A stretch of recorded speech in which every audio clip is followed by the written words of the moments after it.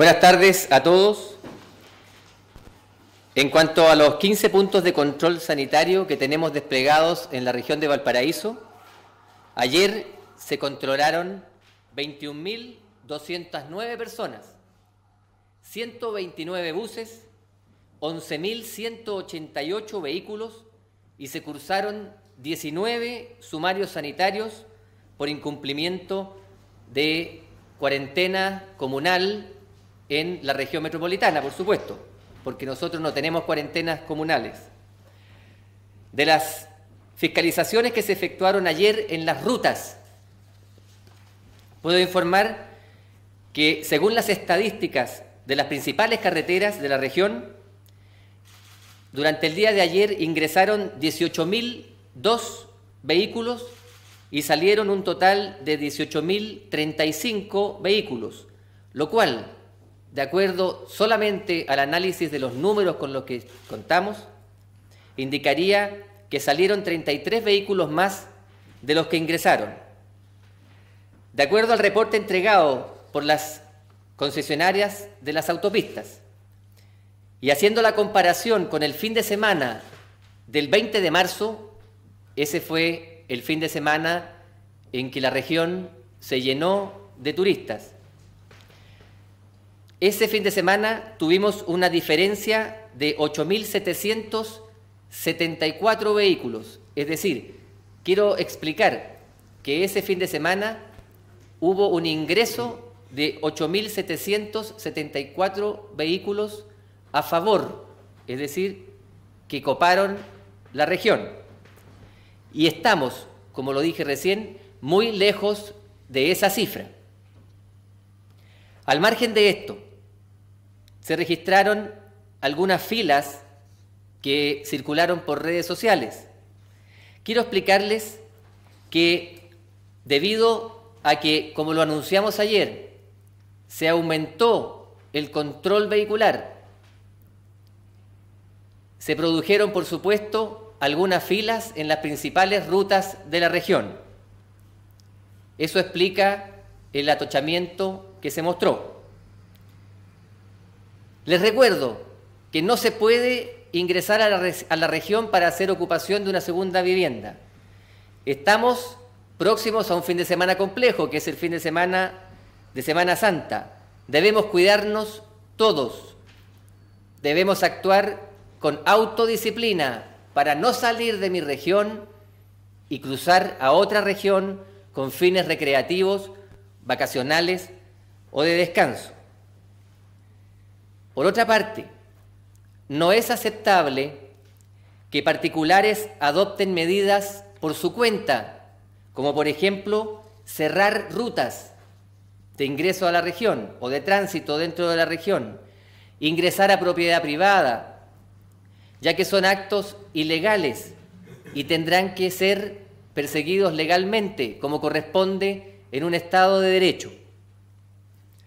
Durante la jornada de ayer la patrulla móvil efectuó un total de 48 controles, no cursándose por parte de esa patrulla infracciones al código sanitario. Si la comunidad, si cualquier persona tiene datos concretos respecto a que otra persona está dando incumplimiento a la norma de prohibición de desplazarse a una segunda vivienda, puede usar el canal de denuncia que establecimos lo recuerdo, se denuncia en la comisaría de carabineros más cercana. Carabineros recopila las denuncias y las transmite a la Seremía de Salud, quien adopta la planificación de controles, de fiscalizaciones, para verificar si la denuncia es correcta, en cuyo caso se adoptarán las medidas legales que correspondan. Esa es el flujo de información que debe circular para actuar dentro del marco legal y no adoptar iniciativas particulares que, pueden constituir algún tipo de falta o delito. Asimismo, les recuerdo que están prohibidas las aglomeraciones y las reuniones de más de 50 personas. Están prohibidas terminantemente y será controlado que no se reúnan en ninguna parte más de 50 personas. En otro orden de cosas, ayer en la tarde hice una visita a terreno a La Ligua. Me interesaba visitar el Hospital de La Ligua. Felicito a la gente que trabaja en ese hospital. Tienen un muy buen espíritu de servicio, están muy bien organizados y están preparándose de la mejor forma para ayudar a la comunidad. Muy bien hecho en el Hospital de la Ligua. En cuanto al orden público, la tarde de ayer hubo una barricada en el barrio Puerto, antes del toque de queda. Ahí actuó carabineros y hubo una mujer mayor de edad detenida por eh, instalación de barricada y desorden público.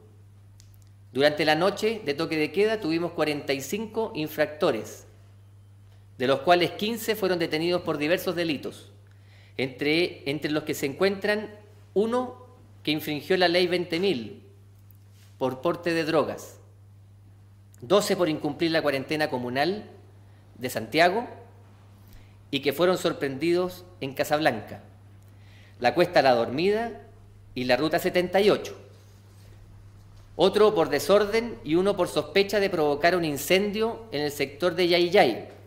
Hay una persona sospechosa de iniciar un incendio forestal al costado del camino en el, sector de Yayay. Afortunadamente fue detenido y este presunto delito será investigado por la justicia. Seguimos insistiendo en la importancia del autocontrol, la autodisciplina para, cumplir la distancia social mínima de un metro entre las personas, sobre todo en las filas. Por eso mantenemos presencia de las Fuerzas Armadas y de orden y seguridad en todos los lugares de aglomeraciones a los que podemos acudir. Cuidémonos todos, respetemos las normas que se han dispuesto, con empatía, con generosidad y con autodisciplina. Recibo preguntas. Almirante, Mercurio de Valparaíso y Televisión. La jornada de ayer se denunció por redes sociales un alto flujo de vehículos por las rutas que conectan a la capital con la región de Valparaíso. ¿Cómo fiscalizarán esas eventuales llegadas anticipadas? ¿Cuáles son los puntos además de las rutas 6, 8 y 7, 8? Bien, eh, reitero, estamos haciendo un tremendo esfuerzo eh, sobre todo en personal, tanto de salud como de las Fuerzas Armadas y Fuerzas de Orden. Tenemos establecidos 15 puntos de control carretero. Algunos de ellos son San Felipe, Los Andes, Cuesta La Dormida, Ruta 68, San Antonio, Concón, Ruta Lorosco, Algarrobo, La Calera, Nogales, entre otros. Estamos controlando sanitariamente y también la segunda vivienda. Y seguiremos haciéndolo, preparándonos para el fin de semana que se viene, que es un fin de semana que nos preocupa por el ingreso o eventual ingreso de vehículos a la región. También quiero decir que los números aportados de estadística indican que estamos en un equilibrio, que no estamos ante la situación de hace dos fines de semana atrás cuando nos llenamos de vehículos en la región. Almirante, continuando con las preguntas del Mercurio Valparaíso y Televisión con este mismo tema. ¿Cuál es el balance de los controles realizados en carretera? Si se detectó a personas que pretendían llegar a la, a la zona solo con fines recreacionales y cómo operan los filtros en estos casos y qué acciones están tomando para detectar a los infractores.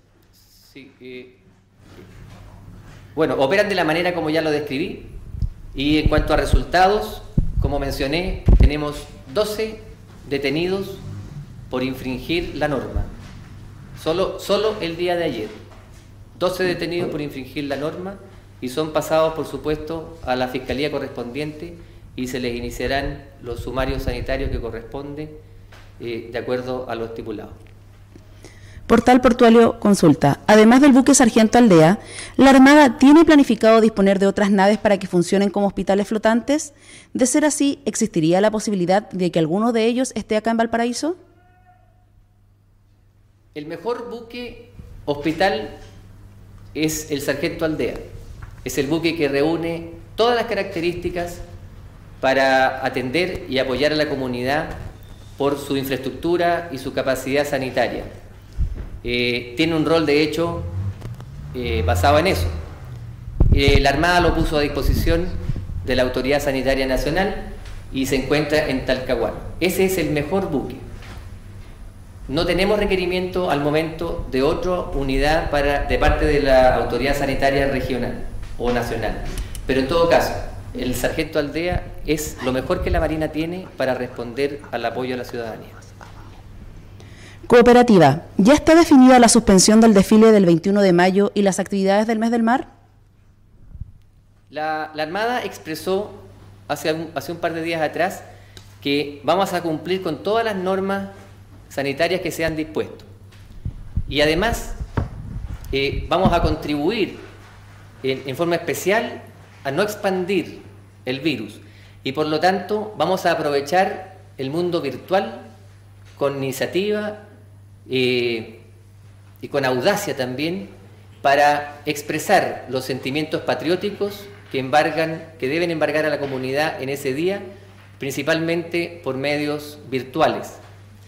Eh, en relación con los desfiles, lo más probable de seguir la evolución que tiene esta, esta pandemia, lo más probable es que no se ejecuten los clásicos desfiles masivos, ¿cierto? porque no podemos tener una aglomeración de más de 50 personas y además debemos mantener la distancia social exigida de un metro. Así que lo más probable es que los desfiles no se realicen de continuar la situación como está evolucionando hasta ahora. Así también el clásico despliegue por los puertos de, nuestro litoral de las unidades navales es algo que también está en evaluación por parte de la Armada para eh, actuar correctamente de acuerdo a la situación sanitaria que se viva en ese momento.